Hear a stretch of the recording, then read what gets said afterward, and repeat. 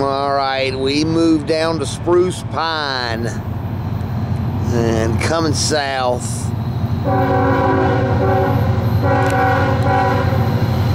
It's like that. Oh, this will be uh, CSX Q69330. Got them once already, but I want. I love here getting trains coming up this hill. Y'all have a safe rest of your trip.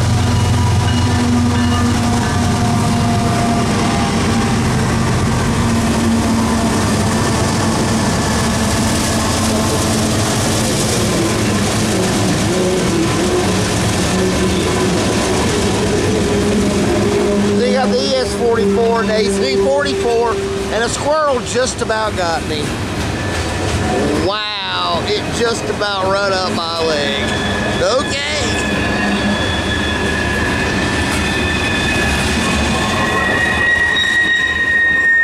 Animals have been out to get me lately. but I'm a squirrel was running right at me. I think he's running for the train coming from the direction of the train. So he's running with dear life but come running right at me. Scared the crap out of me. I didn't know if it was rabbit or what. And last Sunday I was the first Stella was attacked by yellow jackets. And then me and Princess ended up getting our uh, our confrontation with the yellow jackets later that afternoon. Me and Princess got the worst of it.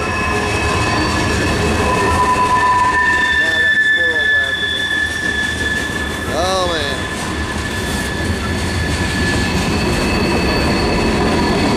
The train's got 294 axles. Not a huge train.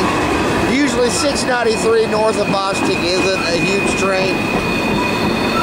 Sometimes not even south of Bostic, depending on what they got to pick up take down to Waycross.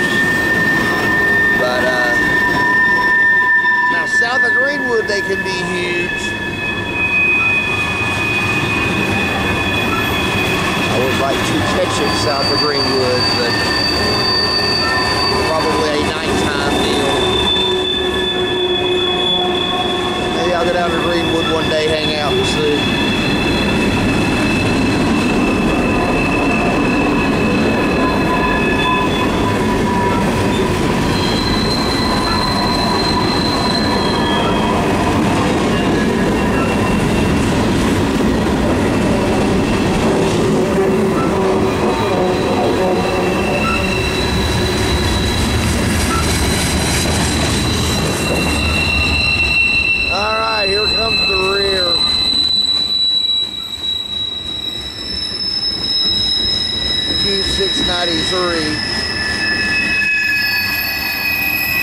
There it goes on the main. By this would be kind of like the southeast, southeast part of Spruce Pine. Going towards, towards Marion. This be the CSX. Blue Ridge, the former Clinchfield. Q69330 southbound. Uh, and uh, I also had to brave the killer squirrel there. Wow. All right.